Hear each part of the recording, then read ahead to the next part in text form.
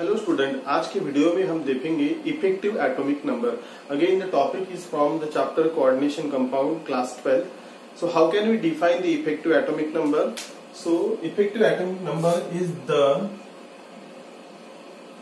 number of electrons around central metal ion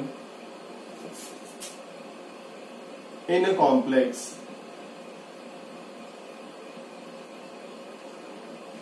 so so, जो coordination compound रहता है उसमें सेंट्रल मेटल के सराउंडिंग जितने भी इलेक्ट्रॉन्स रहते हैं उसे हम कहते हैं उसका effective atomic number now the effective atomic number में हमें पता है कि जो लिगेंड्स है लिगेंड्स क्या करते हैं? तो सेंट्रल मेटल को इलेक्ट्रॉन डोनेट करते हैं और जो मेटल रहता है वो इलेक्ट्रॉन रिसीव करता है। ये जो सेंट्रल मेटल है ये कब तक इलेक्ट्रॉन रिसीव करेगा? जो उसकी नेक्स्ट रेयर नोबल गैस है मतलब जिस पीरियड में ये मेटल रहता है उस पीरियड में जो नेक्स्ट रेयर नोबल गैस है, उसका एटॉमिक नंबर आने तक ये इलेक्ट्रॉन रिसीव करता है। जैसे कि हम थ्री सीरीज़ की बात करते हैं तो थ्री सीरीज़ में जो नेक्स्ट रेयर नोबल गैस आता है that is krypton that is thirty six मतलब थर्टी एटॉमिक नंबर या फिर 36 इलेक्ट्रॉन होने तक वो सेंट्रल मेटल जो है वो इलेक्ट्रॉन जो है लिगैंड से रिसीव करता है। तो ये जो टर्म थी, सबसे पहले नेविल वी सिडविक इन्होंने सबसे पहले ये टर्म ऑब्ज़र्व की थी and since that time it is known as a effective atomic number और ई एन तो ये कैसे कैलकुलेट करते हैं? So it is calculated by the formula that is E N is equal to Z minus x plus y so what is Z here so Z is a number of central metal. What is x? So x is a oxidation state of central metal. What is y? These are number of electrons donated by ligands. Okay so this is the formula through which we can calculate the effective atomic number. So let us Take one example. First example is FeCN by 6 4 minus. We have the complex FeCN by 6 4 minus. So we have to calculate the effective atomic number. सबसे पहले हमें z, x और y पता होनी चाहिए तो यहाँ पे z is the atomic number of Fe. So atomic number of Fe is 26. Now what is X? So X is the oxidation state of the central metal. यहाँ पे Fe की oxidation state हमें निकालनी पड़ेगी. So FeCN by 6 4 minus. Okay. तो Fe की निकालनी है, इसीलिए हम इसे X कंसिडर करेंगे हमने इसके पहले वाले वीडियो में देखा था कि ऑक्सीडेशन स्टेट कैसे कैलकुलेट करते हैं Cn के ऊपर माइनस वन चार्ज है into how many Cn are there six which is equal to complex negative complex है एनोनिक कॉम्प्लेक्स है इसीलिए कॉम्प्लेक्स के ऊपर चार्ज है minus four so x minus six is equal to minus four so ये six उस side जाएँगे. So x is equal to minus four plus six which is plus two so what is the oxidation state of x here two और plus two now the what is y? Y is the number of electron donated by the ligand. So, कितने ligand है? Six ligand. How many ligands are there? Six ligand. एक ligand दो electron देगा तो six into two which is equal to twelve so y is equal to twelve अभी हमें क्या करना है? इस फॉर्मूला में ये वैल्यू हमें डालनी है। ऑक्सीडेशन स्टेट तो हमने कैलकुलेट कर ली। So E N is equal to so Z is 26 minus 2 plus 12 which is equal to 36. So 36 is the atomic number of krypton. So this is the atomic number of krypton. So this is the effective atomic number of this complex that is FeCN by 6 means the number of electron present around the central metal in a complex is called as its effective atomic number.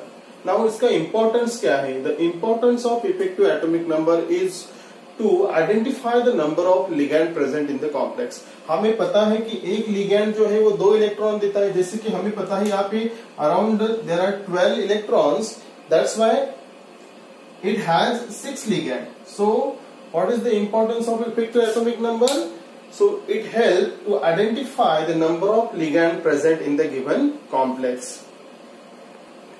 Now next example is MoCN by 8 4 minus.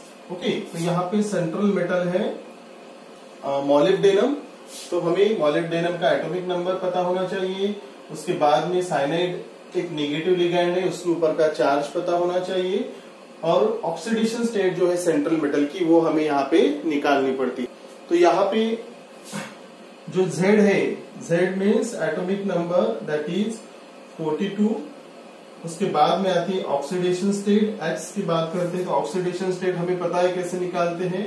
यमो C N by eight and minus four तो ammo की निकालनी है, इसीलिए x plus minus one into eight because eight ligands are there is equal to complex के ऊपर charge हमें equal to के उस साइड में लिखना पड़ेगा minus four so x minus eight is equal to minus four so ये eight उस साइड जाएँगे.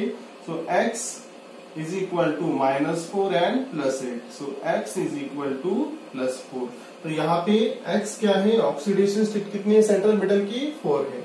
उसके बाद में number of electron donated by the ligand that is y so how many ligands are there 6 into 2 sorry 8 into 2 which is equal to 16 okay so now put the value in the formula क्या है formula formula is E A N is equal to Z minus x plus y so Z क्या है 42 Z is 42 x is oxidation state plus y 16 electron which comes around 54 so this is the atomic number of the noble gas xenon okay so effective atomic number हमेशा क्या आता है तो next rare noble gas जो है जो central metal जिस period में रहता है उसी पीरियड में जो नेक्स्ट रेयर नोबल गैस रहता है, उसका जो एटॉमिक नंबर है, उसे हम इफ़ेक्टिव एटॉमिक नंबर कहते हैं। और ये जो सेंट्रल मेटल है, तब तक इलेक्ट्रॉन रिसीव करता है लिगैंड से कि जब तक कि वो नेक्स्ट रेयर गैस का जो है एटॉमिक नंबर अचीव नहीं कर लेता। इसका एक अगर देखते हैं हम थोड़ा सा कि कुछ ऐसे कॉम्प्लेक्सेस है, वो इफ़ेक्टिव एटॉमिक नंबर जो है उनका वो एग्जैक्टली नहीं आता। नियर बाय नोबल गैस का एटॉमिक नंबर या फिर इलेक्ट्रॉनिक कॉन्फ़िगरेशन नहीं आता है तो उसका भी हम एक एग्जांपल देख लेते हैं। ओके सो हमारे पास नेक्स्ट एग्ज़ाम्पल है कॉपर का कॉम्प्लेक्स है तो यहाँ पे हमें इसका इफ़ेक्टिव एटॉमिक नंबर कैलकुलेट करना है। तो फॉर्मूला तो हमें पता है तो सबसे पहले एटॉमिक नंबर जेड तो कॉपर का एटॉमिक नंबर है 29 then x what is the oxidation state here we know that NH3 is a neutral ligand complex के ऊपर प्लस टू चार्ज है इसलिए ऑक्सीडेशन स्टेट रहेगी यहाँ पे टू और y जो है that is number of electrons donated by the ligand how many ligands are there four ligand so four ligand into two that is eight electrons okay now put the value in the formula so EAN is equal to 29 minus 2 plus 8 which comes around 35 so this is not exact the atomic number of the next rare noble gas that is krypton that is 36 but here it comes around 35 means there are certain exceptions to this effective atomic number. मतलब कुछ ऐसे elements है जिनका effective atomic number exact near by noble gas का electronic configuration या फिर atomic number नहीं आता है। और इसका इंपॉर्टेंस भी हमने देखा लीगेंड आइडेंटिफाई करने के लिए। Means around central metal how many ligands are there वो हमें आइडेंटिफाई करने के लिए इफ़ेक्टिव एटॉमिक नंबर हेल्पफुल रहता है। Okay so thank you